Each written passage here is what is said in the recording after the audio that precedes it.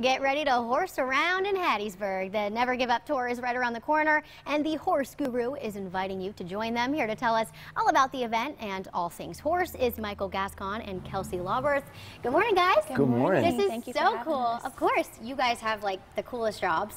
uh, first, tell us a little bit about what you guys do. I know Michael, uh, world-renowned horse trainer, super cool. Yeah, fifth generation horse trainer. Been doing it my whole life. Uh, took over the family farm about six years ago, uh, and now we're bringing. We've been all around the world doing clinics and expos. So now we're bringing it back home, back to Mississippi. So cool. What about you, Kelsey?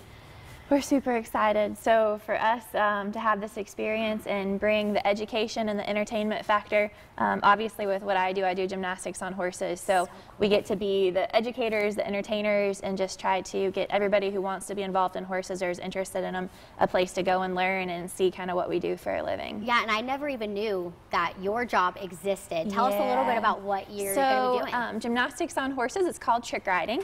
Um, there's a couple movies that have came out now. It's getting more and more popular, but there's less than 50 professionals of us that do it in the world, and there's probably less than 12 of us in the world that teach. So we travel around the world teaching and performing. Um, but we do front flips, back flips, stand on the horses, crawl under their necks. The horses are free running, so they have to love their job. They run the same pattern. They take care of us, and um, horses are kind of our whole world. Yeah. So we're excited to bring that local. yeah, so people are definitely going to have to come out and see that. It's For super sure. cool.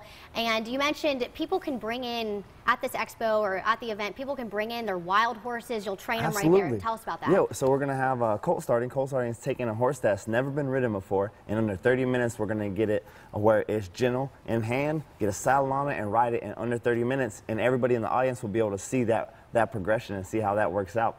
We also have all kind of problem horses with behavioral issues that kick or bite or buck, and we're gonna show people how we fix that.